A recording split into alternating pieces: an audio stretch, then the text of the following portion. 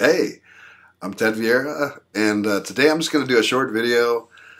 What's in my bag? And um, I'm just going to talk about my street photography bag, so it'll be even shorter video.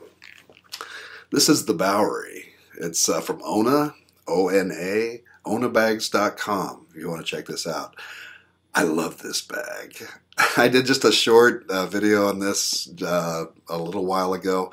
You probably don't need to go check it out though, because you'll you'll kind of see pretty much everything you need to know about this bag from this video. You know, I, I never used to take anything extra when I'd go street shooting. I would just grab my X100, the original, and I would grab a couple extra batteries, throw them in my pocket. So that's the extra stuff I guess I would carry. But I could just throw those in my pocket. I'd get in the car, go downtown, uh, and do my shooting, get in the car, go back home, and that was it. Uh, but like a few months ago, I picked up the uh, Fuji X-T1, and so now I can change lenses, and that camera is really not that much bigger than the X100. Um, so since I had that camera now, and I did have the option to bring extra lenses with me, um, that was too fun to pass up. So I figured I'll go ahead and pick up a nice little bag, and uh, everything so I can fit whatever I want to fit in there, take it with me on my street shoots. Um, so let's take a look. Um, of course, the first thing that comes out, CXT1 with um, my 35 f2 uh, lens on there. I love this combination. This lens is probably on the camera 85 to 90% of the time. It's the cam it's just my shoot everything lens. If I'm doing a photo shoot, I'll probably use the 56 1.2. I might use this. Um, if I see a beautiful sunset or a beautiful sunrise, I'll probably throw the 14 on there. Um, but 85 to 90% of the time, this is what you see. Another thing that I, I like about this lens is that the body's weather sealed and this lens is weather sealed. So if I'm downtown street shooting and, and the weather changes, I don't want to have to stop shooting because I think you can get some of the best street shots um, in bad weather. You get all that, you get more contrast, you get uh, that that shine, that reflection off the streets, um, glass on window panes, and, and uh, just beautiful stuff. I don't want to stop shooting. I want to keep going. I wish Fuji would uh, weather seal all their XF lenses. Wouldn't that be awesome? I would love that. I hope they do someday. Anyway, that's the camera and, and the, my main lens there. So since I've got the 35 with me, I want to bring a wide angle just in case, and I'll usually bring this one.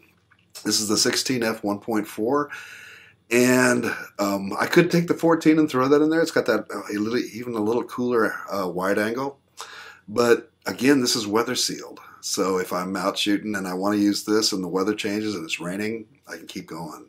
It's an awesome lens too. It's an amazing lens and then uh, lens cloth because you never know, right? Um, and then since I got Wi-Fi now with that with this camera, I'll take this with me, the little Instax uh, Instax SP1 printer. Because uh, if I'm talking to somebody and I want to do some street portraits, this is cool then I can take a uh, take a street portrait and I can share it with them. And I know it makes it a lot more fun for me, and I think it does make it a lot more fun for them too. They seem they seem to enjoy it. I know I enjoy it, and it does make it more fun. So anyway, think about this if you're not doing this. It really really can be a lot of fun. Um, then on this side, I'll bring a couple extra batteries with me because you know, and this is the uh, EF-X8. This is the little uh, flash that comes with the XT1. And um, I'm not going to be doing any high production uh, Joe McNally stuff with this. But, you know, if I want to take somebody's portrait, it's low light or night shooting that I do a lot, um, at least I've got it. So that's cool. And boy, it doesn't take up any more room hardly than the battery does. I've got a couple memory cards. And um, I don't really put anything in the front pouches. Um, I, I, suppose if I wanted to, I could bring like some ex extra Instax cartridges with me if I wanted to do that. This side pocket over here, I put business cards in. This one's empty. And on the back, you get this pouch here. I'll bring a notebook because I've just recently, within the last few months, just started journaling um, about my uh, what's happening with me photographically. it's it's a pretty valuable thing. I can th- I think it can really help you kind of get a closer look at your own process and, and what you're going through uh, in your photographic development. Is that a, a, term, photographic development? You know, developing yourself as a photographer, what kind of thoughts you have, your concepts, why you shoot the way you shoot.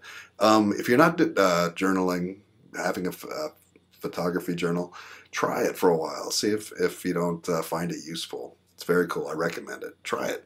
Might not work for you, but try it. Um, okay, that's it. Bag's empty. Get this flap back here. Two pouches up front.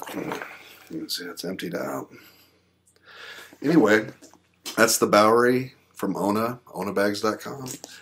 And um, if this, I hope you found this enjoyable or even maybe a little bit useful if you're thinking about uh, carrying around a similar system and things like that. It's a great bag. And um, pick up an Instax printer if you don't have one. It's a lot of fun. Um, I'm Ted Vieira. If you have any questions, just let me know, and I'll see you in the next video. Thanks.